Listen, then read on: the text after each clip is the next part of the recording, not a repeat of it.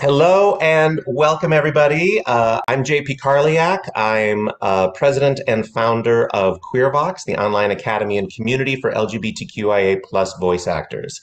Um, like animation and video games, audiobooks have been a major topic of conversation amongst our students, and there's a lot of excitement surrounding tonight's event, so we're very excited for this. Uh, this panel has been long in the making, and we are so thankful to tonight's partner, Penguin Random House Audio, for bringing the idea to us.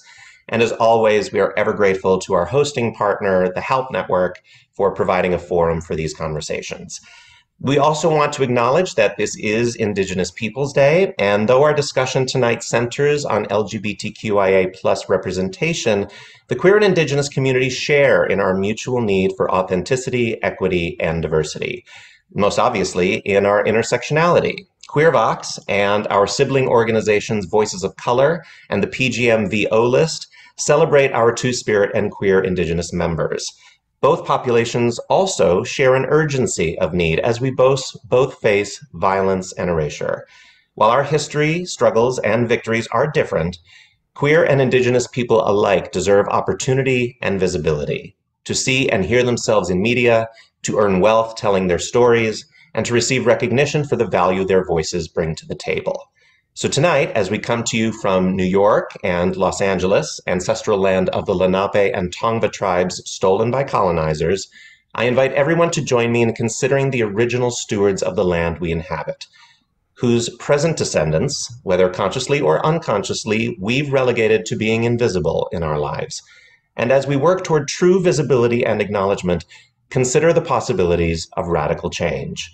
To imagine a society and an industry where cis, straight, white, and male are not the defaults, where we take the time to mentor new underrepresented talent rather than stick to who we know, and where we recognize that just because time honored methods were financially successful doesn't mean they were right or the only route to financial success. Such radical change benefits Indigenous, queer, and all underrepresented communities. From what I've learned about the efforts of Penguin Random House Audio and the larger audiobook publishing industry, I'm encouraged by the steps they're taking in this direction, and I think multiple voiceover touched industries can learn from them. I hope after tonight you feel the same.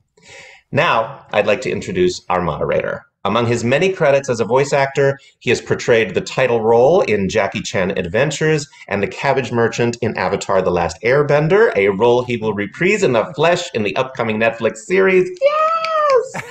He is also the author and audiobook narrator of his novels All Kinds of Other and Still Life Las Vegas, as well as the narrator of Soul Lanterns and the upcoming The Stand Up Groomsman. If you've ever seen his Instagram, then you also know his dinner parties are also worth doing crime to be invited to. Please welcome James Sie. Hi, friend. Hey, thank you, JP. Now, JP obviously knows how to angle for a return visit to my dining room table, so you did a great job.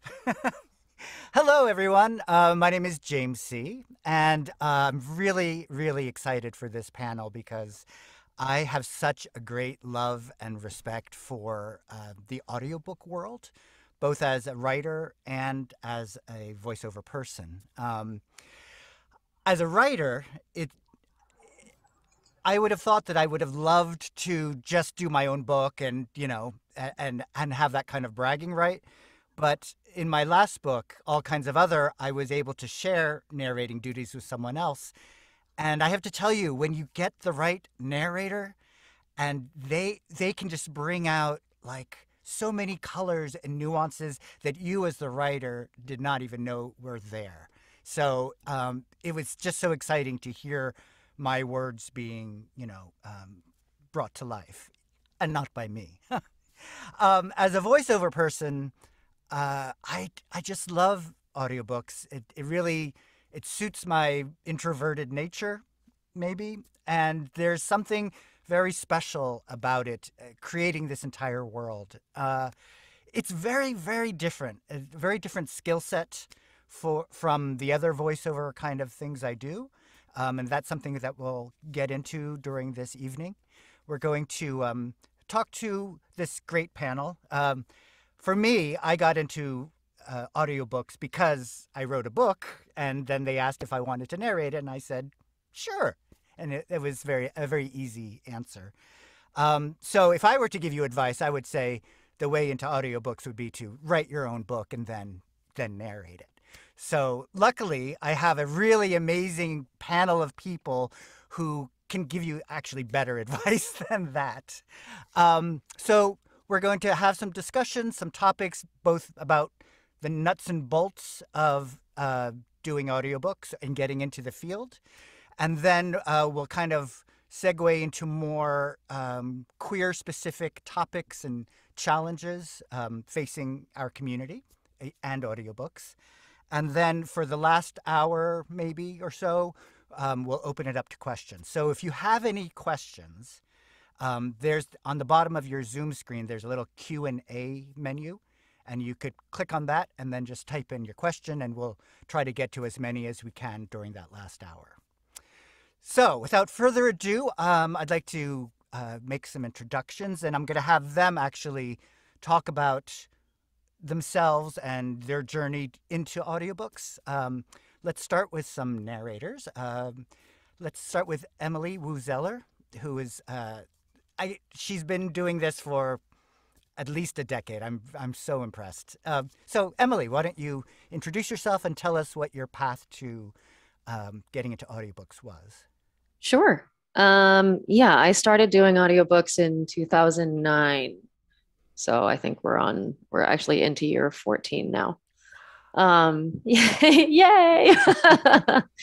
uh, yeah, so I had been a dancer singer who moved into acting on stage um, since I could walk uh, and had that background. And um, after college, where I studied dance and performance studies um, and was also working in the theater department um, on various shows and whatnot, um, I moved to Hong Kong. And while I was there, I was teaching dance and singing gigs. And through the, um, the English speaking, I say immigrant community, um, they say expat community there. Uh, mm-hmm I got connected to um, an audition for dubbing and ended up getting doing dubbing there for um, a couple years. And then when I came back to the states, I knew that I wanted to continue doing dubbing, uh, voiceover, because I I took to it like a fish to water, and was like, oh, this is like the merging of all of the things in one. um, and you know, you can make a living doing it, which is a huge incentive. Um, whereas the other things, it feels like you're paying to play all the time. And uh, got an audition through the Acting Network um, for what was at the time BBC Audiobooks America. Um, and that was it. It was another thing that was kind of like, oh, I get this. All right, let's do it, you know, and then just kind of took off from there. In 2012, I was it 2012 or 2011? one of those years, I built my first home studio, which is to say, I, my friend and I hung up, you know, free insulation that we got that was probably terrible for our health in a closet. and uh, you know bought the borrowed some money so we could buy some initial equipment and uh, but once I started with a home studio, because it was at the right time, and this is it's different from what it is now, 10 years later. But mm-hmm. at the time, it was audiobooks were really just taking off. Um, and there was a lot of, um, there weren't a lot of people who could um, represent Asian cultures, um, East Asian in particular, um, but any, any Asian really. And I do speak Chinese and um, had a lot of, I grew up in Asian, in Pan, a lot, mixed Asian uh, communities. And so that was kind of my entrance into the into the field and it took off from there. Couldn't you, you've done so many I mean, I, I think I counted 80, at least 80 titles. Could you? That's over just... 500. No way. That yeah. is amazing. You must never sleep, I think. Well, actually, wow. that's something I can talk about because I've learned something about um, health mm-hmm. and how to take care of yourself when you're doing this particular kind of work. It's a new, a whole new thing. And I've talked to a lot of colleagues about it. Anyway, uh, we can get into that later. And and can you just uh, give the listeners some ideas of some of the titles that they might have heard you in? Uh, I always say it depends on what you like. Because mm-hmm. I'm lucky. I, I, really, really am very lucky. I've I've had a career that, um, and I guess I'm able to to do multiple genres. So I've I've done just about any genre there is out there. Um, so the most uh, probably best selling book I've ever done is The Life Changing Magic of Tidying Up. Mm-hmm. Um, uh, but I also did Gulp by Mary Roach, the Poppy War series, um, Dr. Aphra, which is a Star Wars story. Um, you've done gosh. you've done a, at least a couple of Malinda Lo. Uh, yes, yes, right? yes. Last night great. at Telegraph Club, Huntress, Ash. Um, wow. Yeah, and uh, some more uh, uh, increasingly as it's as more people are becoming aware that I'm also queer because it's not something I forefronted, mm-hmm. you know, at in 10 years ago 15 years ago but i think as it become it's becoming more well known i'm getting more queer titles which is awesome oh and, yeah. and that i think is going to be something that's really interesting to see how how that shift happened you know sure so that's definitely something we'll talk about yeah um let's move on to uh avi roque um he uh oh, they they they you got they, it no worries they um, first came on my radar when I was listening to Cemetery Boys, and I fell in love with their yeah. their narration. So I'm so excited to uh, see you in the flesh. So thank uh, you, what, James. Sure. Yeah. Why don't you tell us a little bit about your journey? Sure. Um, so I'll just get all my labels out right right from the start. um, I identify as uh, trans, trans masculine specifically, non-binary, uh, so I do use the pronouns they, them, and queer as like the umbrella term for my sexuality. Um, I feel, oh, and Latine. So like I do have um, that cultural background. I feel like I'm theater based. So I feel like I acting the calling to want to transform and imagine and be someone else was always very enticing to me as a young person who was dealing with a lot of like internal like identity struggles, questioning, all of that stuff. So I did find a home in doing theater and working on performance stuff. So I did train in theater. Um, mm. And that took me into college doing, you know, that's, I didn't really dip into TV or film things and even try to break in because I, I haven't like broken through just quite yet. Uh, but that didn't come until Chicago. So after college, I went to Chicago where I just did theater. That's what I wanted to do. It's what I loved. It was my passion. And then kind of got roped into like having an agent and getting sent out for TV, film, commercial things. And then voiceover was kind of this like other area that was not touched uh, for me and this was all pre-transition. So i like to to name that as well. So this was before i began hormone replacement therapy uh, which would be testosterone to masculinize my features uh, which meant also my voice changed. Ah. i tried voiceover before all of that before making all of those medical decisions for myself and nothing came out of it. So like I invested uh, time and money into like taking classes for voiceover. I paid a lot of money to create this like demo reel for voiceover, uh, but it just didn't it didn't take off in the way that I had anticipated or expected. And I literally did give up. So I was like, mm-hmm. all right, I guess I don't have what it is for to be a part of this industry and that side of the world. I'm going to leave that alone. Keep going to. I'm just going to keep doing theater. Mm-hmm. Then I also was like, oh wait, I'm trans. And then I was like, what can I do to feel better about myself, uh, to feel like myself, to feel authentic, to feel true? And then that's when I did decide to medically transition. And in that time frame, I think my voice had already started to change.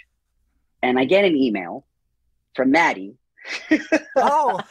um, in my inbox, being like, I'm a producer. At the time, Maddie, you were at uh, Macmillan.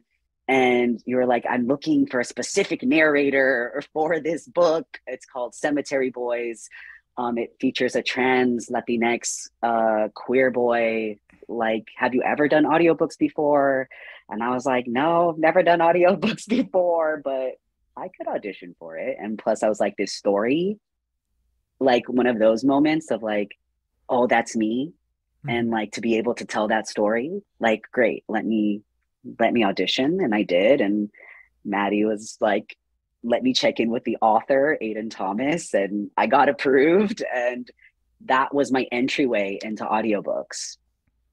And then with that, other voiceover opportunities started to now come back into my life. So it was like this full circle moment of I think it was always something I I was supposed to do or have do some in some way, some capacity. It was just about timing. And I think I needed to be good with myself too ah. in order for these opportunities to uh for everything to align. so know? once once those opportunities came, did you did it feel like, oh, this is something I want to pursue? Oh yeah, definitely, yeah. definitely. Talk about like yes, voice work. I feel mm-hmm. like is I feel the most like free, and I feel like I get to bring my whole self mm. into like it's so funny. A lot of my notes as an actor in training was like, "You're too much. It's too big. Like, stop." Uh-huh. Yeah, and or like i'm pushing it's not it's not authentic and you know so i think with voice acting i feel like i have permission to kind of specifically with voiceover because audiobooks you're right are a little it's different but mm-hmm. i can still bring and infuse some kind of um um character like some kind of something into it like the way i narrate is like i don't want to be just I don't know. I have my style. um, and yeah, so I think did I answer your question? Yeah. Wow, I went on and, w- w- and what other? So what are name some of the other titles that? Uh, sure. So Cemetery Boys by Aiden Thomas. I also narrated um, uh, Lost in the Neverwoods, which was also another Book of his. Yeah. I've uh-huh. done books for Mark Oshiro um, the Insiders, which are like middle grade debut kind of middle grade novels. Um, which uh, You Only Live Once, David Bravo was one I just did. And yeah, a lot of YA stuff. That's like my wheelhouse. Mm-hmm, mm-hmm. um, and queer trans POC rep through and through. So that's been the bulk of my work. And how long have you been d- doing it? Since like 2015, 20... right? No, 2020. Oh, 2020. Yeah, like I just started. I like Cemetery Boys, I think I recorded in 2020. And wow. since then, like literally, like it's just the floodgates have opened to where like now I'm in the mix. Now people know who Avi Roque is.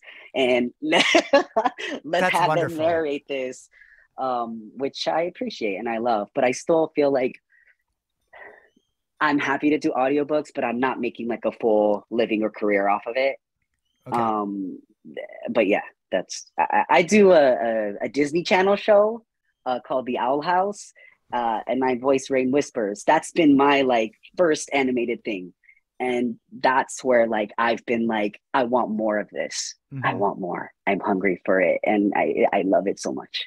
Oh, and, and yeah. I think later we'll, let's talk about how sure. how yeah. you juggle that kind of you know the different projects and the different kinds of projects that of must course. take a little bit of uh, doing. Yeah. All right, uh, so let's um let's turn to the other side of the mic. We are so lucky to have two uh, audiobook producers from uh, Penguin Random House, and uh, so let's uh, let's let's they also have a little bit of a an overview presentation about about the audiobook world. So this is going to be really really helpful for those of you kind of wanting to see you know how to start out. Um, let's start first with uh, Maddie. Uh, do you want to introduce yourself and uh, and give us a little background about yourself?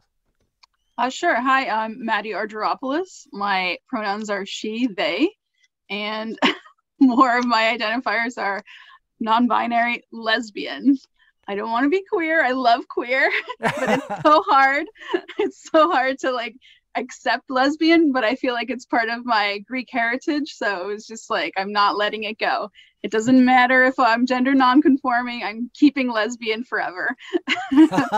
um, um, actually, I didn't realize that Emily started in um, 2009. I started in 2010, so we're very close. But I started at the bottom. Now we're here. I um I started in a, a music studio just getting coffee and doing like the copies and there were CDs back then.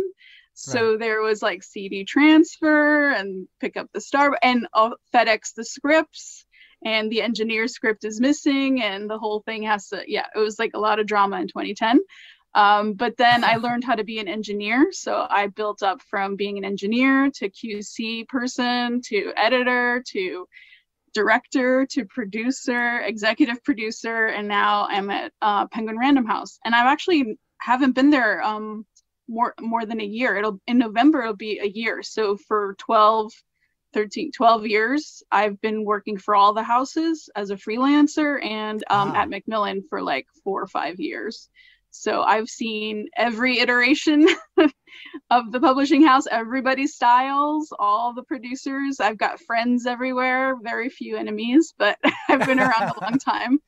Um, and my my general background it's it's literature. It's uh, you know oh. it's you know uh, I went to school for literature, and while I was an engineer, I went to school for art history. So just for fun. but um, yeah, as a producer, you work on about 100 to 125 titles a year. So that'll give you a different number than what narrators are expected to work on.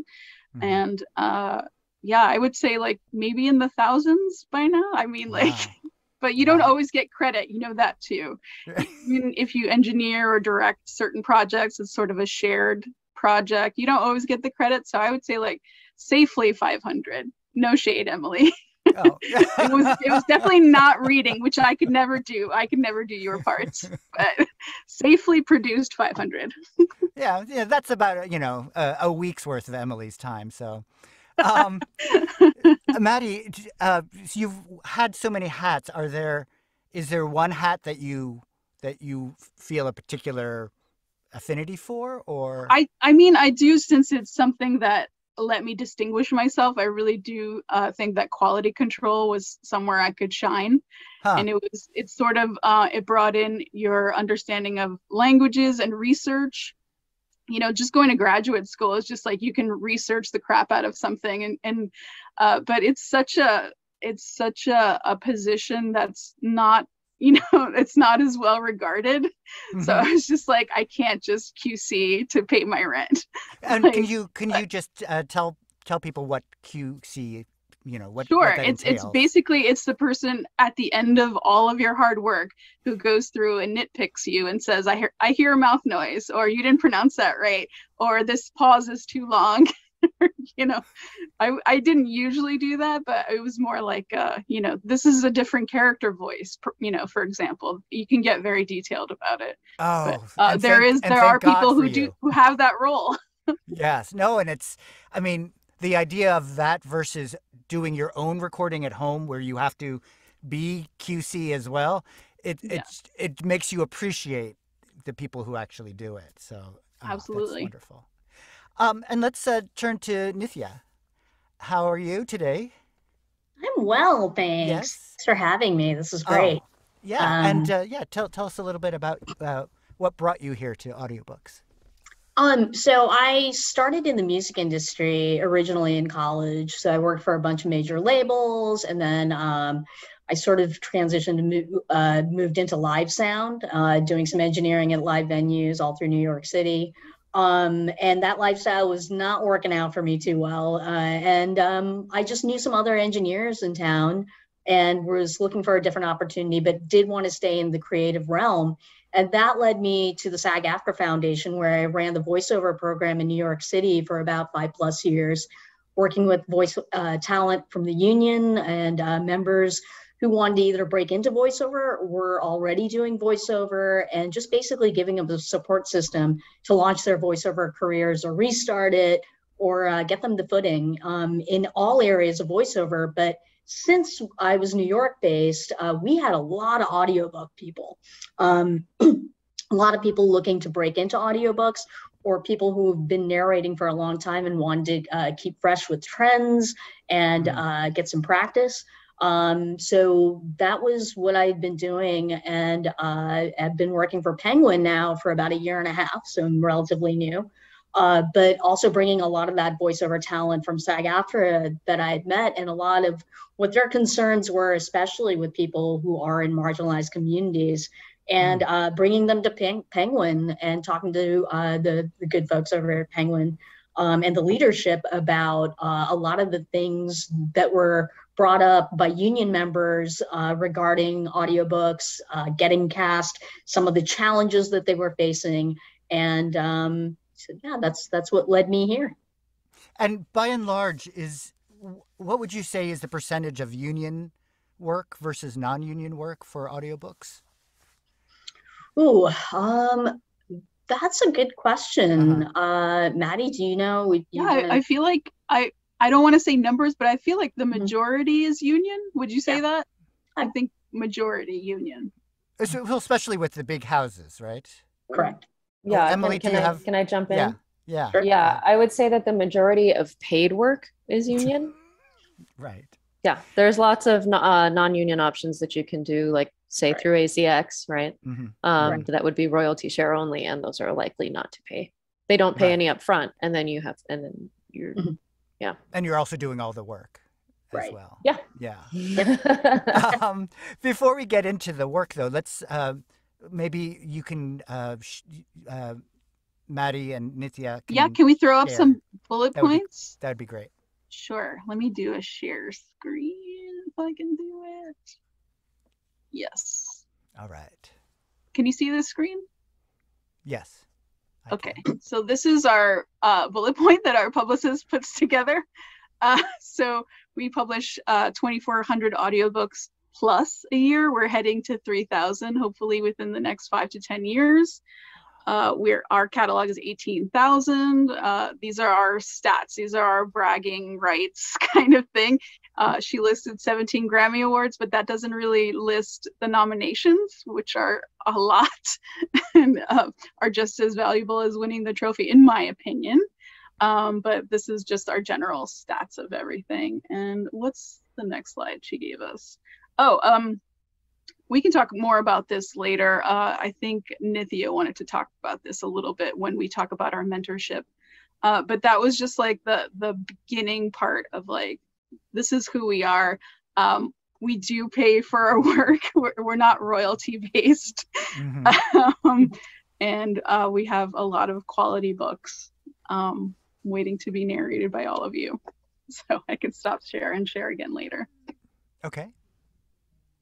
if I can. There we go. Excellent. So, um, yes, and I, I do want to talk about AHAB because that's a relatively new uh, organization, and it actually is very exciting. There's so much potential there. Um, but before we get there, I was just wanting to ask about. Um, uh, let me ask Emily. How how different is the audiobook world now from then when you started? Um, uh, in some ways, it's very different, and in others, it's you know, it's the same. It is a Mhm. big.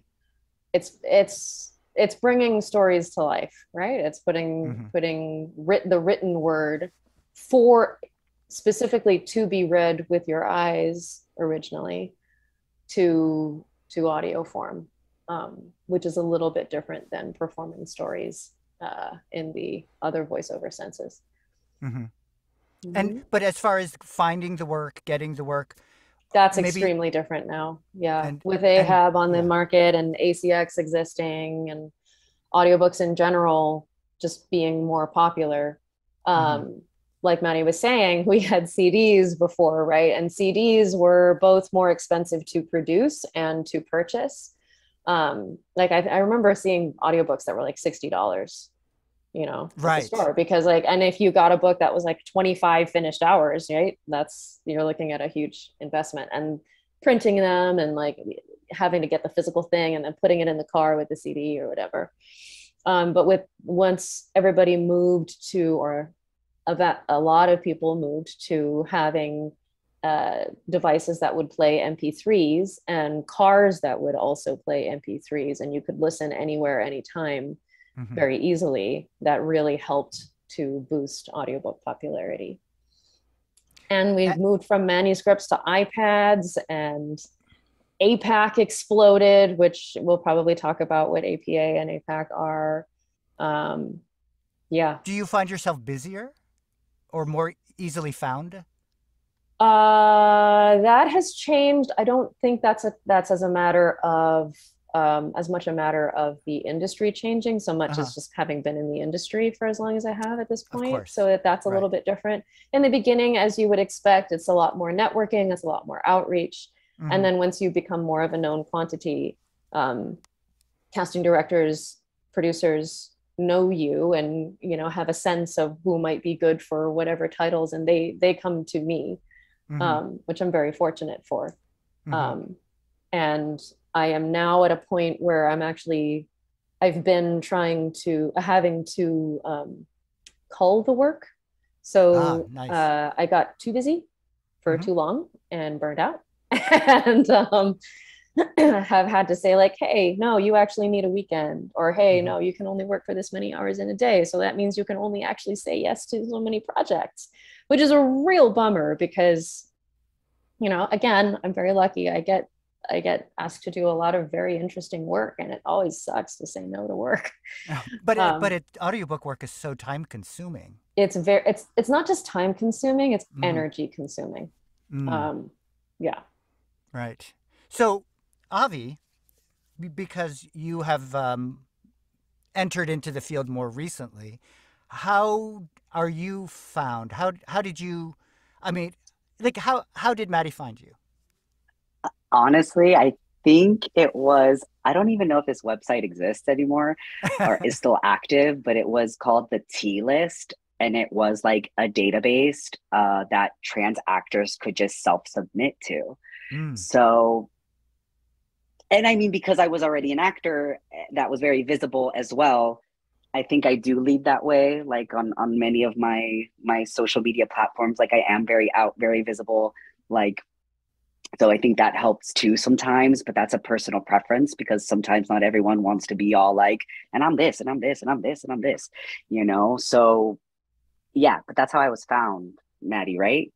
That, yeah, that one was... of my authors um uh uses used they them and still does today actually uh, they them pronouns and they were like have you heard of this list and it's a community created uh, database yeah. it's still live i still see people oh it is okay it's not it's oh, not oh, as uh it's not as populated as it used to be like a lot and so sure. it's sort of like plateaued a little bit but mm-hmm. yeah um I, we'll get to that later if you want but i i look for talent anywhere everywhere and Avi, you were not out there enough, but I did find uh-huh. you on that list.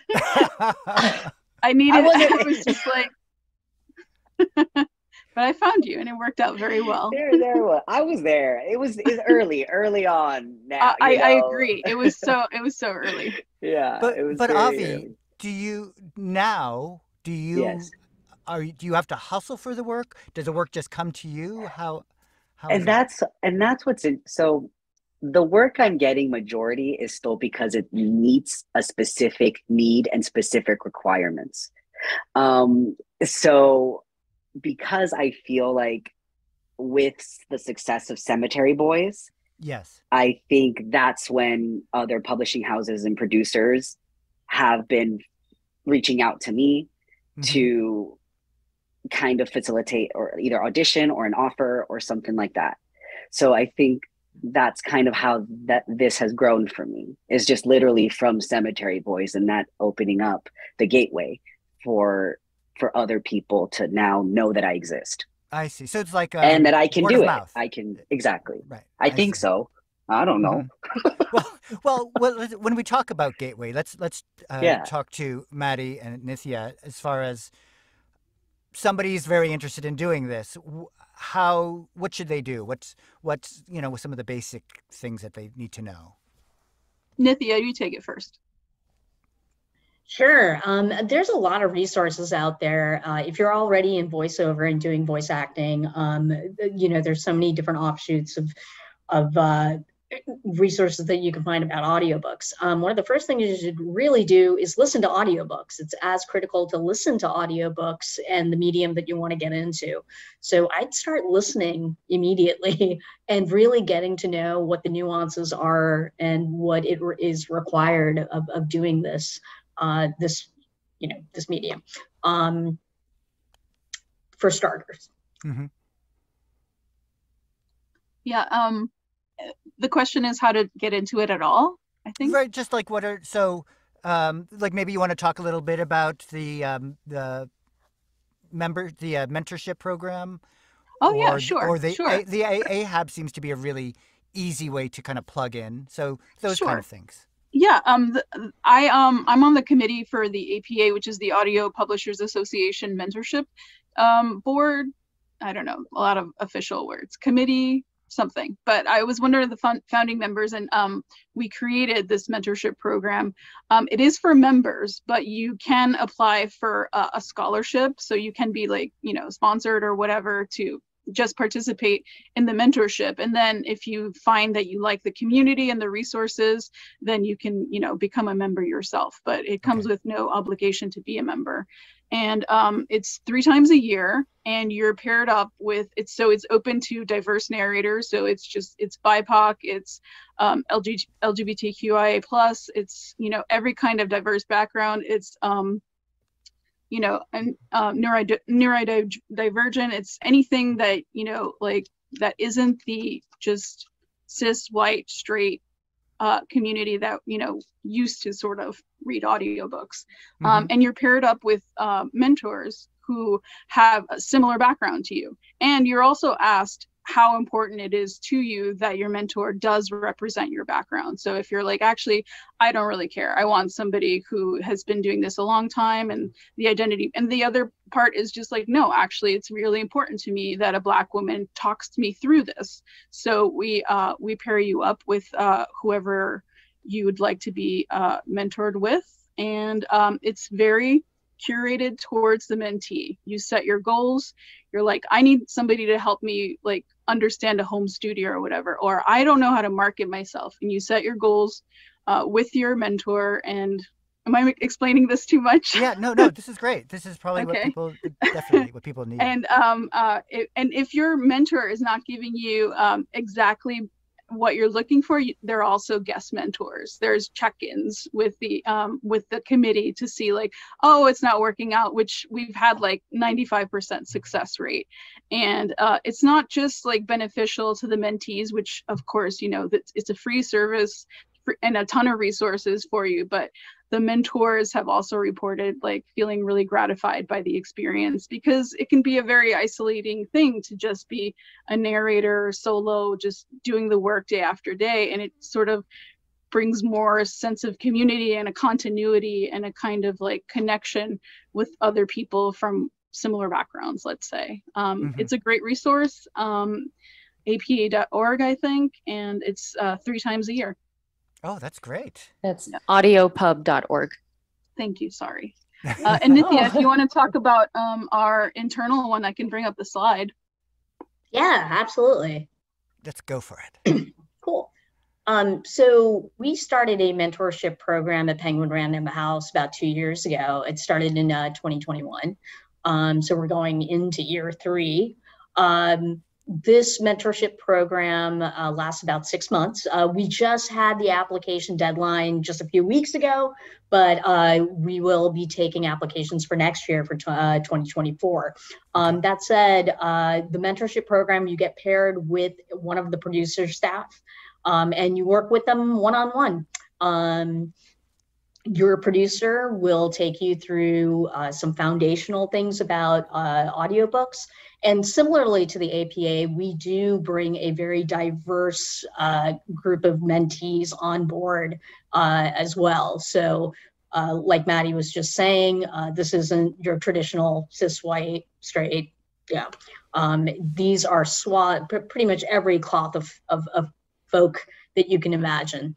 Um, but the six month period, uh, you work one on one, you meet about once a month. And uh, what we do is cultivate uh, what kind of audiobooks they might uh, excel at. We talk about what skill sets they can bring to the audiobook format.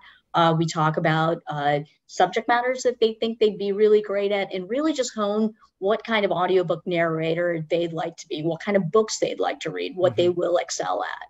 Um, and we also produce a demo at the end. So we work one on one, we direct. So all your producers wow. that you will work with uh, act as your directors as well. So you can be coached. Uh, you bring, uh, you know, different audiobooks. We work uh, collaboratively about what uh, you'd want on your demo, as mm-hmm. well as just yeah, being ready to audition and uh, honing honing those audition skills, as well as just the audiobook format and answering any other questions that they might you might have, whether it's business related things, um, a, a networking kind of issues, or uh, topics, just anything really. Um, so far, we've had 33 men, uh, mentees who've gone through the program, and 91% of them have gone on to be hired by PRH and as well as other publishing houses. Wow. So, uh, you know, it's a pretty big success factor. And like we said, uh, it runs annually, uh, and look out for the applications for 2024. Um, Nithya, let me ask you though, why did Penguin Random House uh, start this program? What why is it important to to reach out and and find different voices? Well, you know, uh, stemming from from uh, what had been mentioned earlier is yeah, audiobooks and the books that are coming out are mm-hmm. continually mm-hmm. changing. Um, we are seeing more and more diverse protagonists. We are seeing people mm. who are intersectional in every way and shape and form, and their voices need to be heard. They need to be, uh, you know, cast authentically as possible with Why? the author's vision. Why? Well, Why? Um, you know, it is all about authenticity and also being able to be equitable and and do the right thing as far as casting. Um, you know, even though voiceover is done behind a microphone, uh, we are, uh, mm-hmm. it needs to be, you know, a person who has experienced something similar or can and speak to the topic and the matters at hand, whether it be uh, matters of race or matters mm-hmm. of sexuality or any of those things, uh, to be able to really bring the emotional core of what the author is trying to get across. Um, so, you know, in sorry, I'm, I'm from down south, so I do a lot of sports references, but um, so forgive they'll, they'll me. Go right over my head. Go right ahead. but I know, you know, it's uh, it, it's sort of similar in terms of if you really want to speak about something uh, mm-hmm. from an emotional core, you got to kind of do it. Um, you know, so having somebody who's never played basketball in their lives or wow to you know and and suddenly being asked to uh, really understand what it takes uh, to play that certain uh, sport or whatever it is. But obviously, we're talking about emotional things, and really, that's what it comes down to: is being able to help the author's vision as well as you know whoever's listening. Whoever is listening, you have swaths of listeners who mm-hmm. want to make sure that the narrator um, is going to be able to deliver those stories and their you know um, and and that those experiences in a way that they truly can feel uh, heard and and just you know identify with mm-hmm. and maddie when we talk about the sector of like queer fiction queer nonfiction uh, how do you go about uh, finding uh, narrators that are that have maybe lived that experience, but at the same time, um, you don't want to. You know, uh, there are privacy issues. I'm sure you you can't just out you know ask people what their sexuality is or you know that kind of thing. How so? How do you how do you find these people aside from the the mentorship program? I mean, I think um, by virtue, I think uh, it puts me at an advantage in comparison to other producers by virtue of being queer.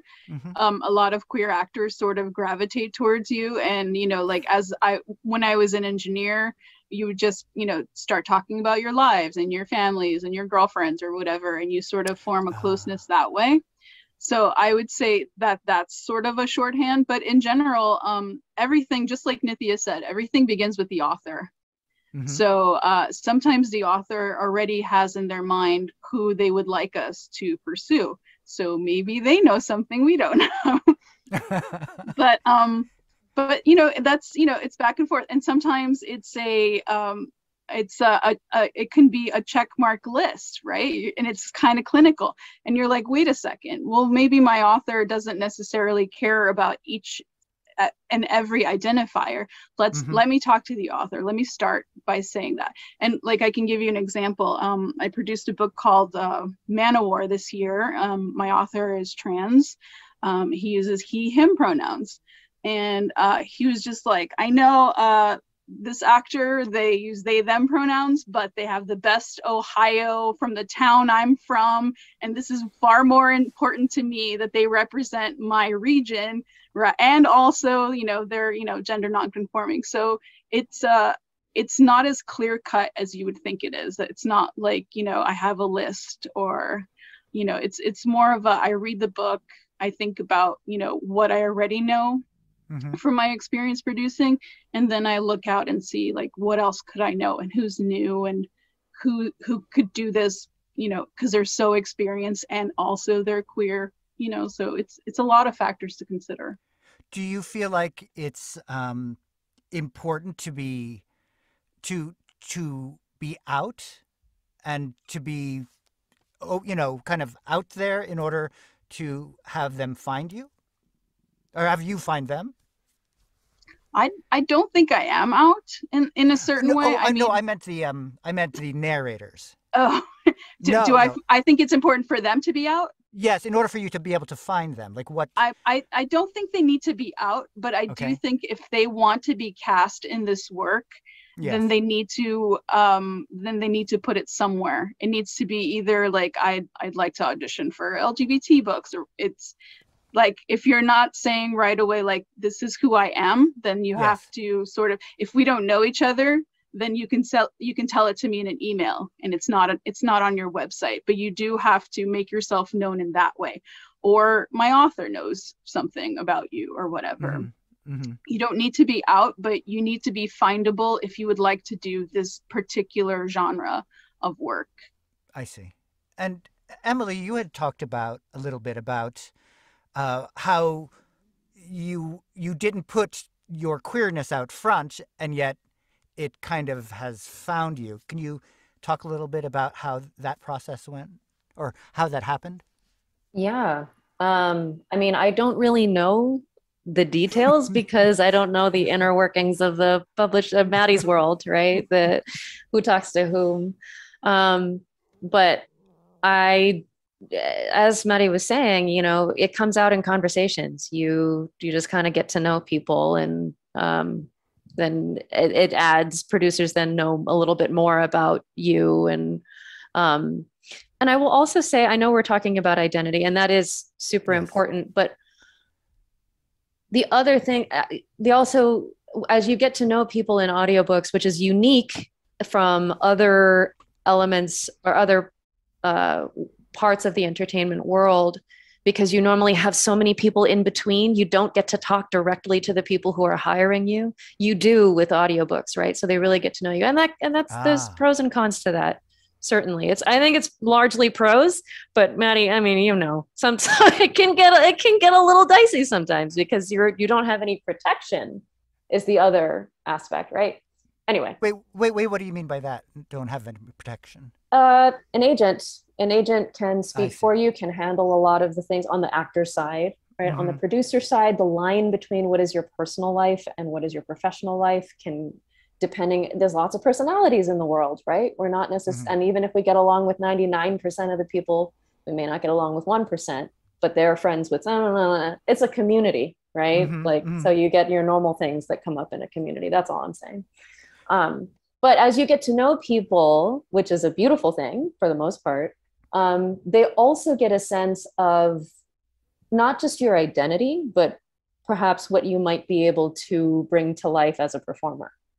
So it's your your range or your your subjects of interest and your modalities of speaking, and the Mhm. accents that you can do, which you wouldn't necessarily. Okay, accents and identity maybe you put up on your website, right? Mhm. But just and your demo is going to be specific for whatever. But as you get to know somebody, there's just those little nuances that might trigger a producer's mind when they're reading a book that say like, "Oh yeah, I remember." Uh, I, you know, so and so was talking about this when we were at the Audies or whatever, and then there you go. I see. So yeah. Uh-huh. Uh, anyway, so with my yeah. uh, yeah, I Yeah. think it, it was just about uh, being people getting to know me, really. hmm hmm So it is kind of like, yeah, it is a kind of a personality thing as well as Yeah, it's a uh, personality an thing too. of. That's of- right. I see.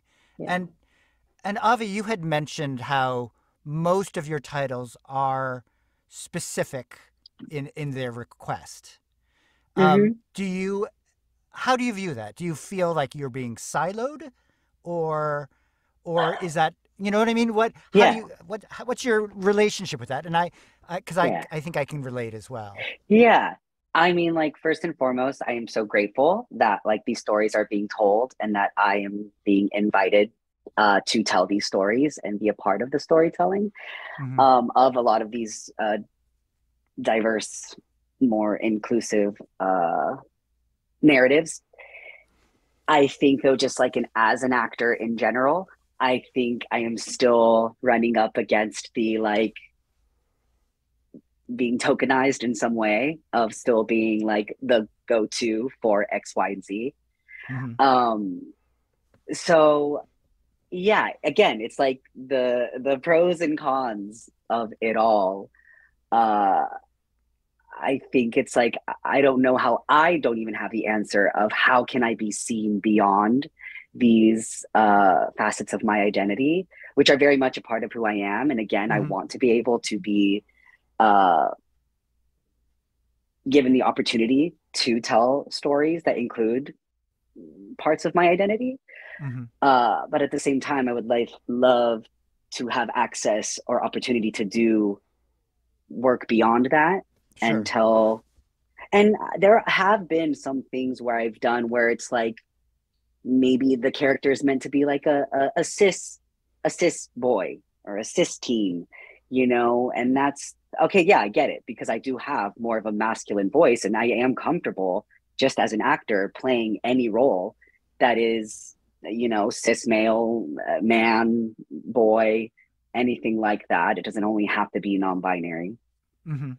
Uh, but yeah, so I don't know. I feel like I'm grateful, but also at the same time, I'm like, well, how do I, how do I see, how, how can I be seen beyond just those, Right. telling those stories? Can right. jump I, in? mean, I think we might be able to like help and suggest more resources and stuff like that and help you branch out. Great. But I remember the first time I was recording Avi, I was just like, Yeah. yeah. I know you're really grateful, but don't be too grateful. You do a lot for us too. You do a lot for our audience. You do a- a lot for our authors. Right. So you should always be thankful, but Yes. you, you know, look for more. Absolutely. Of course. Of course. Of course. But yeah, that's kind of where I'm at with with that. I think yeah, the bulk of everything I'm getting, it's still in that YA realm.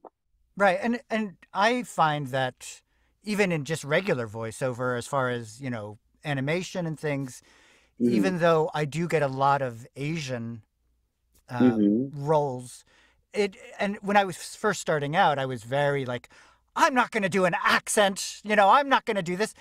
But over the years, I've come to appreciate that, um, that I that I'm grateful in a way Sure. that there is this niche that I can fill Yes. because it is such a competitive field voiceover Yes. it's so rarefied that for me to even be able to have this little corner and work out from that is is Mm-hmm. a blessing you know yeah, um, definitely. oh my gosh we're we're so we're almost done with the hour. I wanted to talk to our narrators a little bit about how you organize um like for instance emily. How how do you you were talking about how you kind of structure your days and your week to be able to accommodate this really arduous process. Can you talk a little bit about you know what why is it so arduous why what why do you have to take care of yourself Sure. Yeah. Um, well, uh, you have to talk for however many hours you can handle in a day. And it's not just talking, you're also having to make micro decisions constantly about your performance and your choices. You're having to sometimes, let's say for a fantasy uh, or a sci fi, carry voices that have a huge range. If you're a narrator like like like I am, not all narrators are like that. Um, Scott Brick famously, right, is right. Uh, does not a lot of the older school actors actually it's a little it's an older school style to not do heavy character voices Characters. and such right right but um I've always done it. It's always come very natural to me. I came from anime and it's a very popular, particularly with YA and with sci-fi fantasy to do that kind of thing. And I'm mm-hmm. capable of doing it. But it is taxing, right? To to do a little tiny you know, your anime voices and then the big, big robot guy or whatever. I can't do it because I was talking all day already. Ah. So like it reaches a point where you you can only do so much physically with the voice. There's also the fact that you're sitting for that long and then you're also directing yourself you're engineering yourself. Um, so it's just a lot of uh, both performance performance energy output and also pro- like uh, production energy that's mm. going into it. So it's a mental exhaustion. And i think that sitting is very exhausting too. It's it's hard mm. on your body. And i actually it's not don't just think that science backs that up. It's it's bad for you. So balancing it out with making sure you're getting enough movement and enough blood flow. And then add to it also, you're talking about working from home, which now people during the pandemic have gotten a sense of what that means. It's a challenge in both directions. Some people have a challenge getting themselves to work enough or like having the home demands take a forefront over over work demands and some people like myself mm-hmm. would overwork and would home would always go to the end and so then work home became an office and i never then I didn't have a place to to wind down. Right. And you need a separation of work and home. I am well. What what percentage do you do in studio? Say now lately, lately. Yeah, yeah, not very much at all anymore. Really? And is it your choice or is it the is it the the producer's choice? Um, I think it's largely producer's choice. Yeah, mm-hmm. there's just not as much that's happening. I mean, um, Penguin is a little bit of it is is truly an exception. Um, Why? For a lot of reasons. I mean, uh-huh. you know, the the outreach, the mentorship program, the AHAB, the um, they have the resources also to be able mm-hmm. to do this kind of thing. Um, uh, and they're they are willing. They have you have a director. Nobody else has a director anymore, you guys, y'all. Like, let me tell you, it is awesome. Now, directors for audiobooks aren't going to work you in the same way that a director for, say, an interactive or for an uh, anime would. And especially if you have a little bit more experience, they're they're going to really let you drive. But just having somebody there to show up with, oh, it, it just makes all the to perform for. Right. Right. It's not like oh I, I won't work if nobody else will let me show up. It's it's no i have an incredible work ethic. It's that in fact i work too hard and then i burn out and then i can't show up or you know like mm-hmm. or having somebody to bounce ideas off of before you get in there. Because otherwise i mean we're all actors. You get in your head right? And you can get really stuck there. So right. it's really helpful to just have somebody that's just outside of this little globe that you can or, or just at the very least catch catch mistakes you might have made so you that don't is, have to that is what their primary job is right? It, catch mistakes yeah. It's so it's so, such a comfort to be had to have somebody there. yes it's one task on the list of a hundred that you can just take off and so it's just so you stand a little bit lighter. Mm-hmm. yeah. Right. um but yeah and, so uh, that's why i think we need to really take care. Mm-hmm. and avi um I know you're doing you're doing plays, you're doing the animation stuff how does how does audio how do audiobook books fit in your world and how do you juggle that yeah um before theaters opened back up again I think Yeah. like from this year, I think my average from January was like I was doing one audiobook a month. so I was able to like, and maybe there was some children's books peppered in one month or a shorter essay or a part in a book. But um I that was easy to manage. Mhm. And my personal preference is to be in a studio and to be working with a producer, director, or someone that is, it is truly the, for me, feels like the best way of doing my work in my job.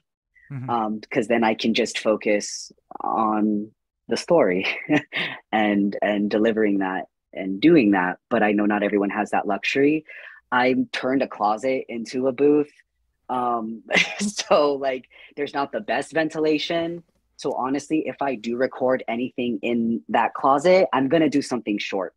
I'm Ah, not gonna do full length. I did one where I did everything. I was responsible for all of that stuff Emily was talking about, and I was like, never again.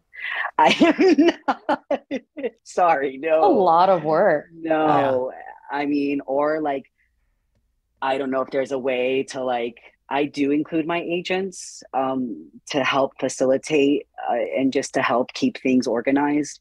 Um, and so I don't know. I was like, if I do, like, we might have to really discuss and negotiate a higher rate because I'm doing all of the jobs. um, and it does take more time. It really does. But um, yeah, I would say like to record a, a YA book, it can take me like three to four days. okay. And so But what happens was- if you have other jobs in this there? is what this is where I'm gonna start figuring things out. I am in a play right now. And so that's gonna be my evenings Tuesday through Friday, and my weekends are gone. I, two shows Saturday and two shows Sunday. Mhm. I have gotten some like inquiries about audiobooks, but this is where I get to be kind of like aware of my time. I think I came back being like, cool, would love to do this, but I'm not going to be able to do it in like the three to four days because I'm going to need to be doing shorter recording hours a day because Yeah. I'm it is exhausting. Emily's right. It's it's draining. Um and then I have to go and do more work on stage. like it's gonna be a, a, a little learning thing for me, but I already want to go into it thinking about these things and Mhm. trying to be cautious cautious and aware so I don't get that burnout because I know how that feels too. Right. I mean, Yeah. uh, emotional, but also just physical burnout, you know? Definitely. It is. It's so weird. It's like well, it's all connected. Mental exhaustion Yeah. is like affects the body.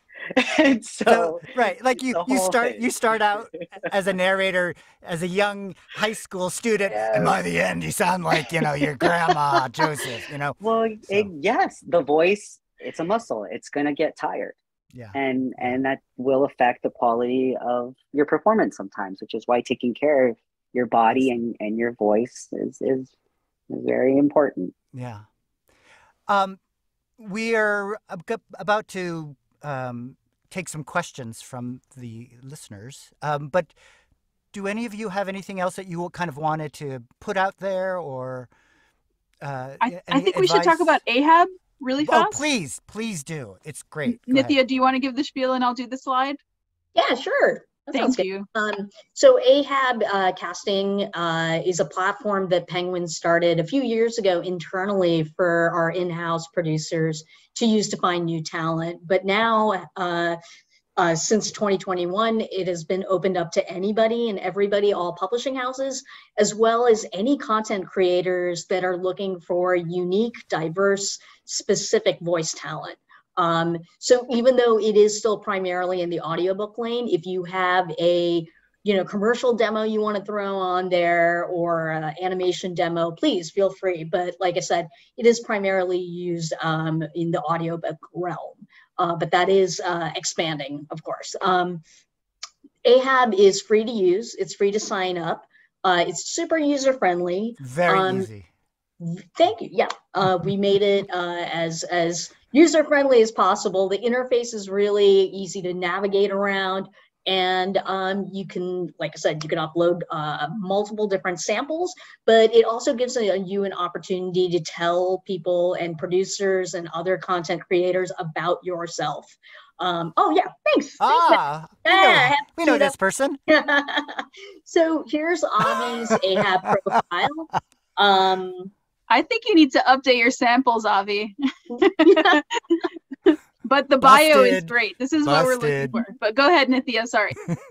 Oh no, no, no! Just um, using Avi's as a an example, they uh, you know have provided their website, um, uh, has talked about their gender, cultural background, age range, um, a little bit of a biography and some general knowledge. Uh, this is a really good sh- snapshot for us mm-hmm. to get an idea of who you are as a person, what kind of work you'd like to do, and so you can really, um, you know. Uh, basically give us an idea of, of who you are, what kind of work you'd like to do, what kind of work you've already done, and uh, you know, and just talk about your your acting experience. Um, and all the all the things you want us to know about you uh, you know this is a place where we can like you said invite to audition if there's a sample that we really like or if there's something or if there's a book that i'm specifically working on um, I've done a lot of rom coms where the uh, pro tags have been, uh, you know, queer BIPOC folks. Um, so I'm specifically looking for that. And if I listen to uh, a sample and think, all right, this person might make a really great fit, I will invite them to audition. Uh, so you will be, uh, you know, working with the director or, or, or a producer directly one-on-one, um, or one of our staff uh, who works with us too. Um, so you know, we do work very collaboratively and uh, yeah, it's free. Um, free, free, totally free. Yeah, it's it's free, and more than that, it used to be an internal database for just right. PRH, and um, many indie houses and many independent producers have access, and they um, are also casting and auditioning you. So it's not just for us. Yep. Um, Avi, I think you should put a couple of earphone awards in here too. I think. I don't. I don't have any of those. No, I thought. Do I? Got, I'll look. you should find oh, out those. You, you gotta highlight those. No one tells me anything. I feel so like whatever. I'm on Disney. Are you on the Audiofile email list? This is for everybody. Are you on Audiofile's email list? I'm not. Emily, send me the link. You got to do it. All right. This is a resource. We got resources for you. Yeah, they send out it every Thursday. They send out an email with reviews, oh, and you can see and then every month, or no, bi monthly, they have a magazine, print magazine. I know, the Age of Dinosaurs. Um, I love it though. Uh, where they you can see all the reviews that they've done for the last couple of months, and they will tell you what who's gotten Earphones and mm-hmm. yeah. And that's that's Audiofiles that, yeah. magazine. Audiofile magazine, yeah. Audio file with an F. Yeah. Right. See, that's been the funny thing. Being so new to the audiobook world, I feel like I'm doing a lot of learning by of by course. doing. Yes. And it's just like you're right because it's like where are the resources? Sometimes it's challenging to be like this is where I go. Yeah. Mm-hmm. Eh, you know, but that's why this is so I'm glad we're this is happening. Good. Yeah. yeah. And another place that is going back to in person is the APA. Um, mm-hmm. If you want to be a member of that, you can pay for a membership and then go to their various events that they have throughout the year. The largest, the biggest one being the Audies, which this year is happening at the end of March. Um, yeah, and the most businessy one being the APAC, and that's, that's like right. the that's where you expand your resources and you meet everybody. So if you just want to party, you can go to the Audies. so yeah, but it is. I need to network. I have to. Network. Yeah, yeah, that oh. is networking, and it is important to know that the AP APA is a little um, singular in that it is for the publishers. It is not a narrators event, and ah. it's changing. They're starting to, because narrators over the past ten years have really uh, there's been a, a huge growth. Um, but it's for the publishers. Um, and so if you go there as a narrator, it's not, and if you're coming from Hollywood and you're coming from other aspects of the entertainment industry, don't treat it that way because it's it's gross. We don't like it. Audiobook people, I'm just gonna be perfectly frank. Okay. Audiobook people are very down to earth. They're very real. We're we're book people you know mm-hmm. and it's the publishing industry it's not the entertainment industry it's the publishing industry who's bringing in people from the entertainment industry it's not the entertainment industry trying to do some books you know what i mean So yeah, and, and bit, just yeah. um, to that point that the APA is for publishers and all publishers, um, do you want to talk about PANA or narrator-based organizations or resources? PANA is new. Uh, I don't know that much, honestly. Um, I was asked to be part of the board, but did not have the time to commit to that. Um, but that's Professional Audiobook Narrators Association. Oh, didn't know Um, this. so you can And look they that have up. they, they're on social media, so if you want to get They any information from them, P A N A. Yes, yes, P A N A. Yeah. Um, I wanted to throw in a pitch. If you're looking to hone your skills and also do some philanthropic good for the world, there is an organization called learningally.com or .org. Um, oh they yes, we used to be- promote Learning Ally all the time for sure. Yeah, it's it's it's a great organization. It used to be called um, Reading for the Blind, and then it was Reading for the Dyslexic and Blind, and now they're calling it Learning Ally. But um, it's a volunteer organization, and uh, they pair you with titles, um, and you can if if you you have to have a setup at home, but it's great. It's a great way for you to kind of hone your chops and also to realize like, oh, I like this, or this is too much for me. So learningally.org is a, is a great place. All right, let's uh, let's turn to some questions. Let's see. Producers, which is more important to cultivate, range, or to find the specific genre you're drawn to? What do you listen for in a good sample? I'll start. Um, I'm not going to directly answer the question. I want to say about genre is that I want you to give yourself a chance because just because you enjoy reading a genre does not necessarily mean that that's the genre people hear from your voice or that you would be the most successful at. Thank you for nodding, Emily. um, so I would I would encourage you to listen to and practice a lot of genres. I mean, not every single thing, but maybe about five solid genres that you want to experiment with. But I, I wouldn't nail yourself down to one until you start hearing feedback, until you start listening to yourself. Um, so I would I would say keep uh, keep your ideas open about what kind of uh, reader you are. hmm And what do you listen for uh, in in a good sample? Um, sort of uh, committing to the text, really feeling like I want to keep listening, um, that my ear has been grabbed, and uh, that it's compelling storytelling, even if it's nonfiction. I just truly just want to hear where it's going.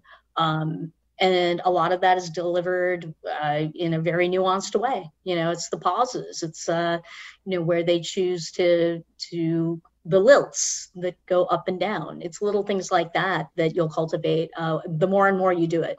But for me, um, Mhm. it's not like, oh, that person killed that Scottish accent. Um, no, it's, that's great. That's awesome. But really, it's about keeping my ears engaged and feeling, you know, if I, at the end of the sample, want to go, I want to hear the rest of that. Yeah, I want to hear the rest of that book. I want to listen to it. I need to hear what happened to that character or uh, what's going on. Um, but for me, it's more of keeping my ears really engaged. What takes you out of of uh, listening to a sample? What what just jars you and and kind of uh, you know should be avoided? Well, I mean, uh, on a basic level, you know, you don't want a fire engine going by or something like that. Uh, you, know, you want you want to provide the cleanest sample as you can. But um, yeah, people who uh, their pacing is jerky. Uh, Sure. There's no consistency to uh, how they're enunciating, or too many pauses, or not not like uh, or people who are just reading rather than being engaged with the text and you just feel like you're listening to a one long run on sentence uh, things like Ah. that Yeah, and I think Nithya is being really like specific and like you know Mhm. eloquent about it, but sometimes it's just a subjective feeling. You're like, I don't know how to describe this. I love this. And the author can come back to you with the same thing where it's completely subjective that you're like, this is my favorite narrator ever. Like, why would you? And it's just like, I don't know. I just like this. And Mhm. it can be something that you cannot describe. And sometimes if it's a bad sample, you also cannot describe that either. Where it's just where where you're just like this isn't this isn't it it's not this is not the book i've read the book and i don't hear this you know How much um, author? How much is the author uh, figure in the selection process? i i think the author is a huge collaborator for producers uh, we can also blame them for mistakes. Not that I ever would. I'm so glad you're here, James, as an author. Uh, I wish uh, I wish you had been like allowed to approve an audition or something like that. Uh-huh. But um, yeah, the author is is definitely uh, the starting point for us. It's uh, author care, it's author consultation, even if it's not in their contracts, which I'm sure is very boring to talk about. But it's just you you. There's always a check in. hmm Oh no, for me, like they, I had a choice of maybe two or three narrators. I listened to them, but I definitely listened to the producer. They would kind of, well, you know, this seems to be better for this. That's better for that. But yeah, um, I did have some input. Don't worry. Um, okay, actors. How much research do you like to do or are expected to do for roles?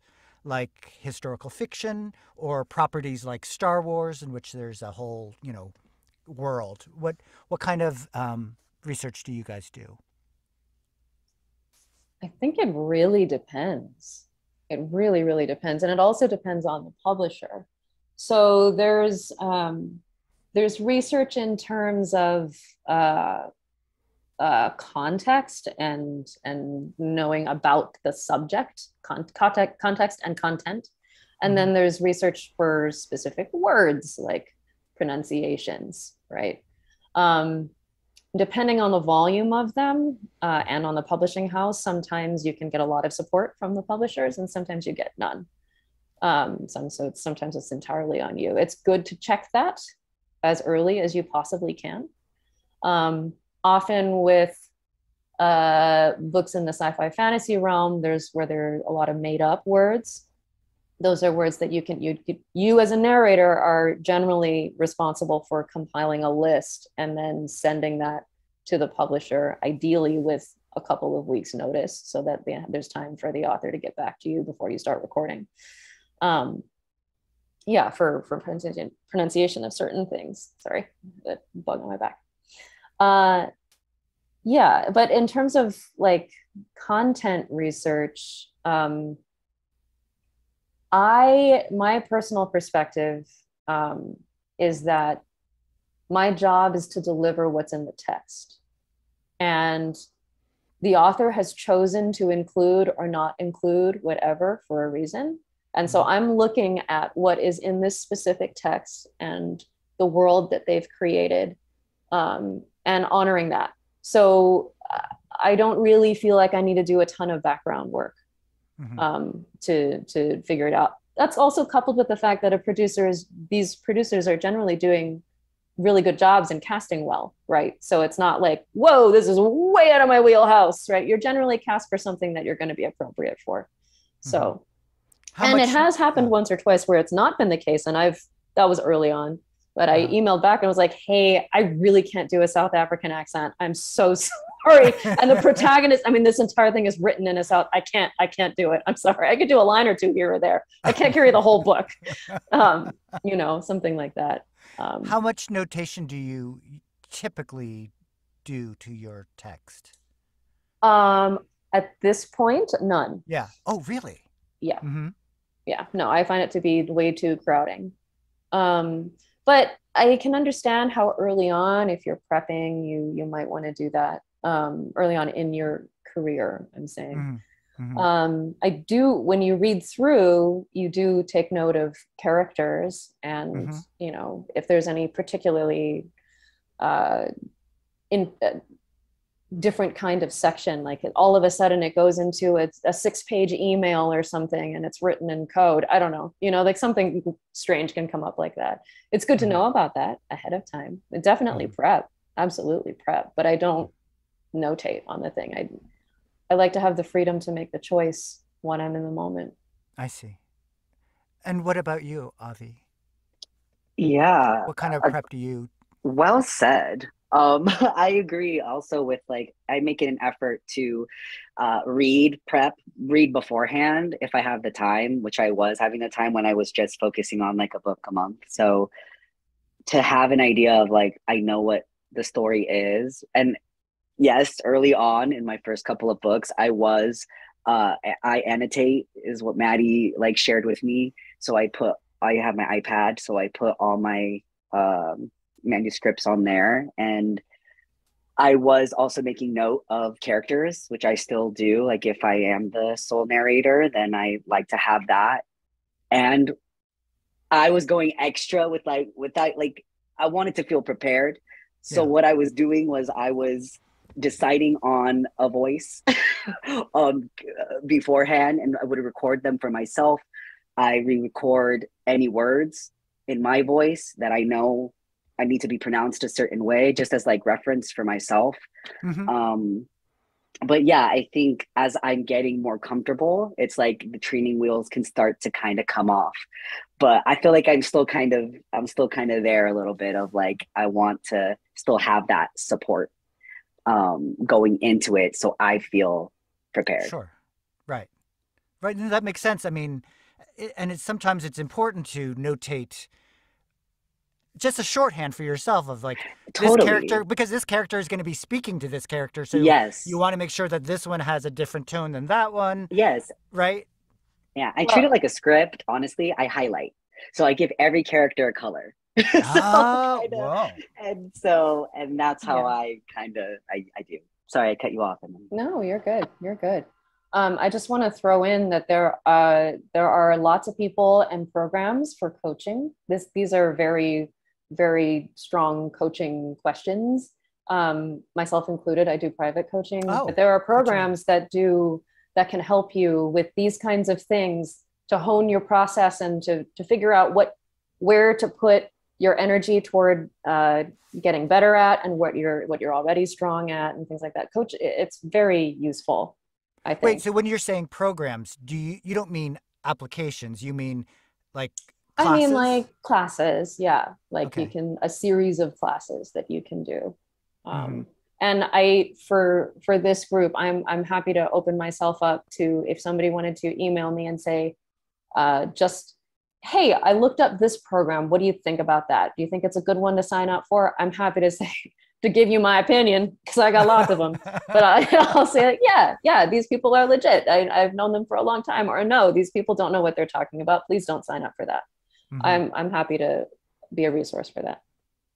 Oh, and speaking of resources, I would like to put in a plug for um, on YouTube Ahab the Ahab Symposium. Is that what it's called? They have I think such. So. It, have, there's a lot of videos. Yes, a lot of videos, but very a lot of them are very nuts and boltsy. Yeah, about, they're great. Yeah, they're they're wonderful. You you meet a lot of different narrators who talk about their processes and um, you could really learn a lot just from watching those YouTube videos. Um, all right, producers. What can actors work on to be a good candidate for the mentor programs? Um, and I think we might have mentioned this before, but are there other PRH or APA resources we can utilize if not yet accepted? Yeah, I think uh, our team at PRH is working on a resource list um, for if your application is rejected the first time. So look out for that coming up. Um, and what was the first part of the, the question is, uh, oh, what can they do to get accepted? Or to be right, a good candidate? What, a what good candidate. Um. I, I think uh, just keep working, keep listening to audiobooks.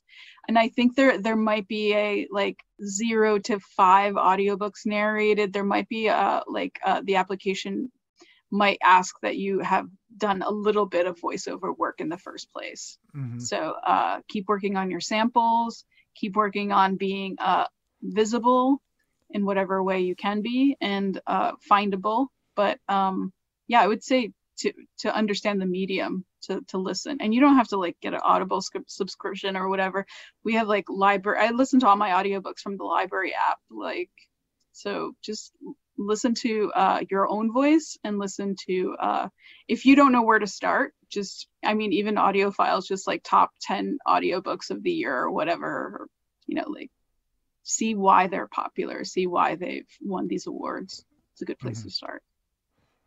Um, I hesitate to bring this forward, and I don't know how everyone feels about it, but there is this um, audio marketplace called ACX, which is run by Amazon, and it's kind of like the Uber of audiobooks in which in which case they're really kind of just the broker between projects book projects and narrator. So you could throw in you know uh, audition for anything.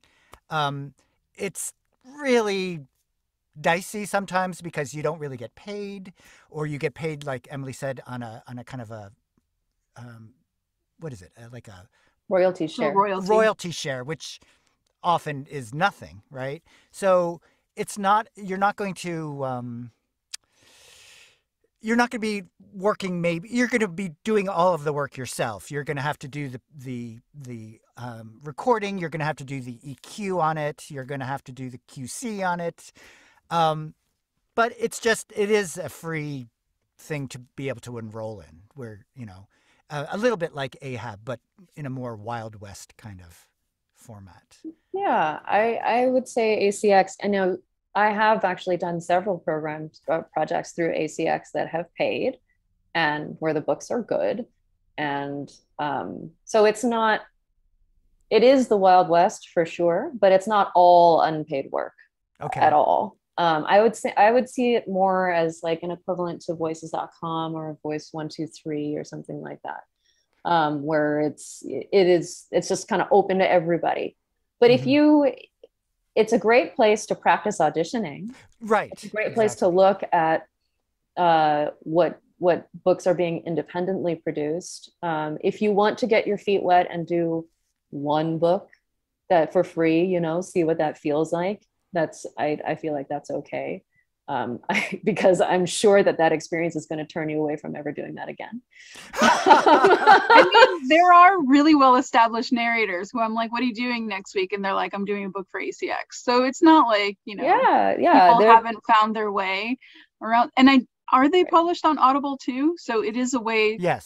yes. it is a way to get your audible sample which is a, a big way that many producers find you and they can track if you have experience because it's sold on Ad- on audible excuse me so Right. that is another plus for it Right, right. Or if you're working with an author who um, is is independently produced and doesn't know anything about audiobooks, ACX is a place where you can go and say, if you're if you're willing and able to do the full production, which I think if you're just getting into audiobooks, maybe is not quite the bag. But um, for somebody who's like myself, who's been around for a long time, I will use that when I'm producing a book. An author will come to me and say, "Hey, I I need to make Oh. an audiobook. I don't know how to do that. And I'll say, okay, I know people. Like I can put together a team for you and QC and all the things. I'll produce it. And then if you want to, you can use ACX just to upload your book to Audible. Right. So it's a, it's available in in that sense too. But So when you did titles for them, was that earlier in your career, later in your career? no, I just just the other day. It was like a couple months ago. Yeah. Uh, yeah, yeah. really? Yeah. Mhm. Um, there is a really steep learning curve with them as far as having to learn how to engineer. You get So- no guidance. There is No. zero guidance there. And Um, and, yet it it- shows yeah. in in some of the books that are produced from ACX. Um, when you take a listen to it, it uh, it sounds not great. Right. And and there are tons of um, YouTube videos about it and and and things like that, but it really it does take a lot of technical savvy to be able to kind of navigate through that world. So can i say one more free resource would be like clubhouse events there's a lot of like narration um, communities sort of like audition for me or whatever and they just meet and trade ideas and talk to each other on clubhouse and that's pretty steady. There's like a, a usual sunday night get together on clubhouse or i think monday morning might be like for romance where they audition like uh romance uh pieces from text or whatever. It's a really good community. It doesn't cost anything, and you just talk to other narrators on Clubhouse. And um, we even do um, an Ahab thing on on Clubhouse, right, Nithya? We um, like Yeah, a couple the- of what is it called the ahab uh, workout Uh, maybe something like uh, that or they yeah. they'll bring on a few producers and there'll be a topic like the topic is self-care and get out of the booth or something like that and you can you know talk to the audience as well as like the guests that you've invited on. So clubhouse is a good resource for audiobooks as well. I, I'm old, so Clubhouse is like a social media kind it's of an thing, app. or it's audio only. Okay. it's audio only so you're just phoning in. Like i think there was like a phone Oh. like, yeah like a party line. And is it club clubhouse.com or? No it's an app oh, and the app? Okay, app, so you yeah. Have they oh, I opened it up? It used to be invite only, right? And only for Apple users. i mean i'm sure Oh. we all know I mean At this point, yeah, I don't, I don't know, but I I don't no, know it's, if it's, it's- it's open to everybody. It's open It- now? Yeah. It's open to everybody.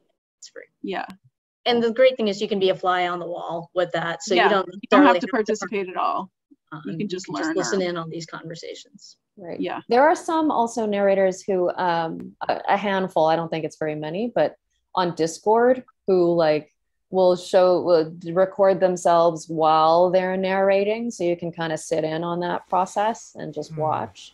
Um, yeah and and if you're going to bring up discord then there's like a really funny tiktoks uh, done by by narrators in the booth so there's a, a, a tiktok community of audiobook narrators too Yeah. Yeah. I don't know how everybody has time for all this stuff. Like, how do you make these videos and do all these things? I I've just got bread to bake. I don't have time for that. I gotta go to the gym. I, I don't have time. Oh Um, man. all right, here's a, one more uh, question for everyone. Uh, in an effort to build a sustainable career, how can an actor break out of being pigeonholed as uh, as able to be only a trans narrator or a trans Latina? How can we be considered for less specific or cis slash straight slash white roles, especially when we can believably portray that? can i start and everybody else can go please Sure. Yeah. um get to know your producers Hmm. uh, create relationships with your producers your directors and let them know that this is uh, a, something that you're interested in doing some of us are just like oh you're you're the greatest like latina i've ever heard i'm going to kick you every single and she could have been like i want to do like irish mysteries or whatever. You have to talk to us tell us Ah. put it put it on your bios. But i know it's it's harder when it's just a blanket of please hire me for this. But it ha- in audiobooks it is one-on-one. It is the people. You have to tell us one-on-one and sometimes more than once. But uh, i would start with uh, talk to your producer. Okay. avi Yeah, good to know. Um, um, no, totally. Yeah, I don't know. I think I, I can see I can see it like both ways of like how it the onus or the responsibility is on the individual as the actor, but also it's on our producers, casting directors to also get out and and um, yes, see beyond, as I said earlier. Mhm. Uh, but like to Maddie's point, I think that's so fascinating that it's just like it, it it's still a voice, so it's still kind of like like where is your voice going to fit in a story? Um, but yeah, I don't know. I just think in general, it is a it's a it's a casting thing too, of just not not getting stuck yourself when you're looking for narrators um, for any kind of project, I guess, but also the individual to to be a little more proactive. And uh, what is it? Closed mouths don't get fed. Is that the is that, that's the phrase, right? Is that a bad phrase to say, or is is that I don't know where where the Sounds origins good of that me. came from. Now I'm now I'm nervous and now I'm stressed. No, Okay. I love is that. I it like part that. of like the, the loudest mouth gets the the squeaky wheel gets the grease? wheel. well, I, I think, know. I think what it is is like to like advocate for yourself and to like and speak up and and and say, you know, hey, I'm I'm interested in doing that. So I think that's good advice, Maddie, is to like there's a relationship there, foster the relationship, build the relationship. Um yeah. And just speaking for us producers, we are pushing for outside of the typical. There you box. go. we There are you go. pushing for uh, is history always read by white guys or whatever. So we are Hmm, pushing for those things as well. And if you let us know that you want to push with us, There you then, go. Uh, we'll include you in that. I think that's what I'm discovering. Oh no, go go. Yeah, no, just- am I'm just jumping on the bandwagon. But Go. it's it's hard to articulate just how special this moment in history is. In Hmm. in audiobooks, it is one of the only industries that continued to grow during the pandemic, right? So not only is it a place where actors can get more work, but it's because the producers are so hip and have a the power to to cast and we're directly connected to them. It's this just unique place in history where like we have a chance to just now just like make some Hmm. changes right? That's why ahab exists. That's that's why. It's because it's they needed more people and needed more voices right? Us old barts we're like there's only so many of us to go around and we all get busy and we need more. We need more of these other voices right? Like Vikas Adam and I were like the only two Asian and queer people that existed 10 years ago. it's like, okay, great, good for us. But like, we can't do all of it. We're not, we shouldn't do all of it. It's not for just, you know, it's, we, we need more people and the, the producers have the power to, to make those changes. And they are the, the connecting point between the publishers, the traditional print publishers and those actors, right? So, Avia, to your what you were saying, it is a change that everybody needs to make, but the producers are in a are in an engine position, right? They're Hmm. really drivers. And so, yeah, it's it's awesome to be able to directly connect and to lend power to that with our voices. Uh, just to Um, follow up. Oh, go ahead. No, go ahead, Nithya. Oh, sorry, go ahead. No, go ahead. Oh, I, I was just going to add, um, you know, another way uh, to convey to all of us that you want to be open to every and all kinds of work um, is to put some samples up there. So even if you have booked work that um, shows your queerness and our LGBTQ uh, roles, throw a sample on there that's some nonfiction book about physics. I mean, whatever it might be, uh, to just, you know, even if it's something that you haven't booked, those samples can be from anything. Um, and it's just showcasing, uh, you know, the range of stuff that you can do. So feel free to throw something on there that's, you know, I don't know, a cowboy book or something. I, I just, but whatever it is, whatever it is. Uh, but yeah. And um, Emily, did you would you say that your entry point into audiobooks was through Asian narrator titles? A hundred percent. Yeah, absolutely. The first book that I ever did was a, a murder mystery written by a British Chinese woman. hmm Yeah. And then what connected me to Tantor from there was because they needed somebody who was Chinese and who could speak Chinese and Ah. they couldn't find anybody. So they were asking around saying, Hey, who do you know who can do this? And then BBC said, Yeah, well, you know, we've got this one. She she did a good job with these ones. So, you know, talk to her. And it just it went like that. But then you were able to though expand your uh, the kind of books that you that you read, and Yeah, that, yeah, and I think- through connection. I think that's probably a function of a lot of things. I can't pretend to know how the universe works, but Well, um, you have a part of that you know. thank you part of part of that sure is talent part of that is skill sure um part of it was just i don't know timing i guess and where i was coming in um and also i'm mixed race right Hmm. so it wasn't hard for somebody to say oh she could also do somebody who's white now i have done very very few books that have been a white protagonist most of the Oh. ones that i have done have been chinese Really? um, or Asian. Um, yeah, and that actually works with my identity because I I grew up as a Chinese American, um, and that's where I mostly identify. Mhm. But I'm technically half and half. So if you want to just look at the the the blood ratio whatever's right this is this is a really interesting subject of identity right and like and representation because especially for those of us who are intersecting in a, in a lot of different ways um, where technically I'm half. So you know Mhm. i don't know. I, I don't actually know why and how i just know that chinese and specific eh, specifically chinese but asian and especially east asian Mhm. um, books were my my way in. And the reason I was doing a lot of different genres was because East Asian is not a genre, right? so you have you have Asian YA, you have business books, you have history, you Oh. have academia, you have self help, you have that just happen to have been written by somebody who was female and Asian. Mhm. um, and then and then you start getting the queer asian female.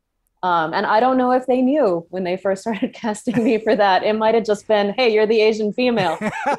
Get this one you can do ya right? Yeah, but um yeah. Uh, for the producers, if there's somebody out there who says, "Oh, I, my voice doesn't sound like the typical narrator voice. I, I, it's too idiosyncratic." Do you have anything to say to that? Is there a narrator voice? You mean like the pitch of it or something? Or... you know, it's No. not. I don't sound like Scott Brick, or I don't. no, you know, there is no. There's there are thin voices, there are deep voices, there are a range of voices. There Mhm. there is no typical voice. There's you know we're not Ira Glass or whatever, who's actually has a very different voice and like so there there is no no typical voice. It it depends on sometimes a, a genre will box you in. Mm. Uh, you know the the YA voice is a little specific sometimes Huh. uh, but but that's that's not true anymore i don't think i think it's a mixture Mhm. Mhm. There's so many stories and so much content out there that your voice will fit the character or the book, not vice versa. So yeah i would work on the storytelling rather than like i'm cursed at birth or what so just yeah that's why being told you have a good voice says nothing about whether or not you can do voiceover and how many times have we heard i've always been told i have such a good voice can i just do if so i had a penny yeah okay, so uh, let's do the last question, and um, to kind of wrap up, here's a, a new voiceover actor. They've taken some classes. They love audiobooks. Um, maybe we can just go around and uh, what's your one or two pieces of advice that you would give to this person? Um, who wants to start? I can start because it's really basic. Um, I would say uh, I know that every at least top five publisher has an internal database. Ask to get on their roster. Ask to get on. Uh, ask to just can I give you my name, email? They have a form. Harper, Hachette, Macmillan, um, obviously us at PRH, Simon. Like they all have an internal database. Ask to be put into that database and be really specific about who you are and what you'd like to read. Um, and uh, in general, uh, study the medium. I'm sorry if that's your answer, Nithya, by the way. no, I think I said that earlier. I think I said that at the top. Yeah. I kind of jumped ahead of myself and yeah, listen, listen, it's a listen. really it's a really good point because we face a lot of snobbery when it comes to audiobooks and that um, actors can be a little aloof about it oh i read real books it's just like that's that's not the attitude anymore so uh, we'll we'll notice if you're a, a snob about our own work. So try try to see. I mean even now like a, a narrator who's been i've been working with for years uh, is just like i finally started listening to them. You know like they're really good. I'm like i know. We're not like you know wasting our time here. Anyway sorry. That's that's All what I'll, I'll say. I guess i'll jump in okay. um, because I you you made me think of something, Maddie, where there there is a lot of snobbery from the publishing side about like what is really reading and what is really getting a story. Um, but to that point, just so everybody knows, spread the word, right? The same part of your brain gets lit up whether you're listening or you're using your eyes, right? And retention can be better when you're listening versus when you're reading with your eyes because you're especially if you have a good narrator who's bringing forward a lot of the ideas that may uh, or the motive aspects that you may not get when you're reading with your eyes.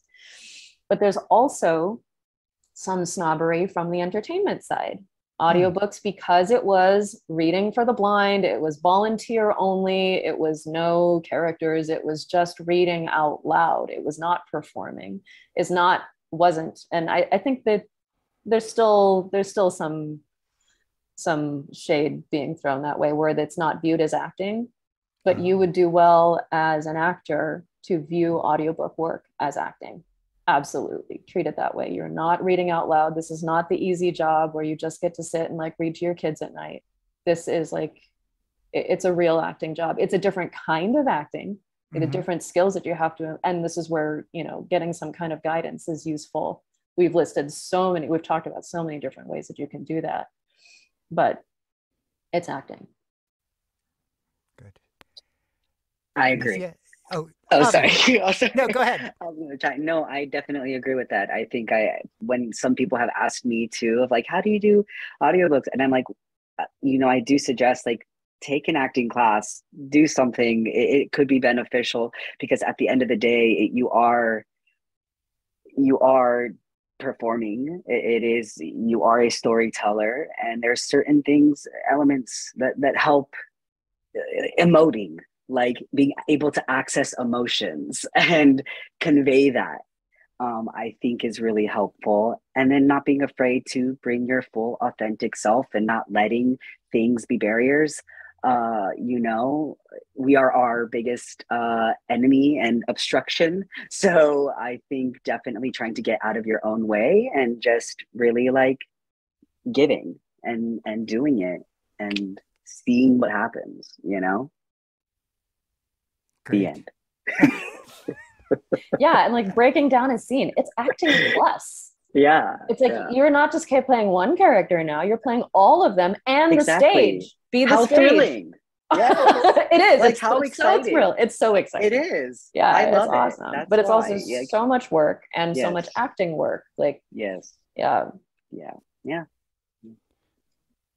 Um, I'd be remiss if I didn't um, mention uh, SAG-AFTRA and the SAG-AFTRA Foundation. Oh, good. Uh, Yes, my my previous employers, who I, I'm just so fond of. Um, if you are a SAG member or an equity member in good standing, um, SAG-AFTRA the union, of course, uh, has several resources, um, but the SAG Foundation, which is the educational assistance arm of SAG, provides free programs uh, in every area of voiceover. I mean, I'm sorry, of acting, but specifically also voiceover. So they call it the voiceover labs. Um, the LA and New York locations are currently closed still because of COVID, but once they open up, if you are a SAG member in LA or New York, there are studios that you can use and book time. Uh, you can either uh, record yourself or work with an engineer, a voiceover engineer who will direct you. Um, and right now they have a whole whole host of things that are just online. You can also book one-on-one appointments with a voiceover engineer um, uh, and talk to a person. Um, all the engineers work in voiceover in some capacity. I know the the person who took over for me for me, Jennifer O'Donnell, is a audiobook narrator and she does a lot of commercial voiceover as well. So uh, you know, if you're just getting started, it's a safe space for you to ask questions and not feel like I don't know what punch and roll is. Can you tell me what that is? Ask those questions. Um, it is, like I said, a very safe and welcoming uh, environment. If you are just getting started and really don't know what questions to ask, or depending on where you are in your audiobook journey, it could be you might be further along and be like, I'm doing my first ACX book. How can I do this? But Mhm. um, it is an invaluable resource, and I do highly suggest if you're a union member uh, to go seek it out. Wow. The end. I, I have learned personally so much. This has been a really great, a great discussion, and I hope um, the people who are listening also have found things to take away. Um, so I just want to thank you all so much. You, you for your time and all of your advice. It's been great. Thank you. It's for nice to see having you us. all. Wonderful. Thank you all for so being great. here. And thank you so much, James, for leading this discussion. It was absolutely phenomenal. Um, another resource I'd like to throw out there, talking about plugs, the QueerVox online VO directory. um, queervox.org. Uh, you can put your demos on our directory, and currently the that directory is being used by I think we're up to over 200 different casting entities, which includes animation houses, dubbing house, uh, dubbing studios, um, interactive studios, and many audiobook publishers. So um, be sure to join our directory as well. Um, thank you so much all for being here. Uh, to our audience out there, Queervox has many different programs that will be coming up throughout uh, the remainder of the year, so do stay tuned for those. And we look forward to seeing you at our next event. Thanks, everybody.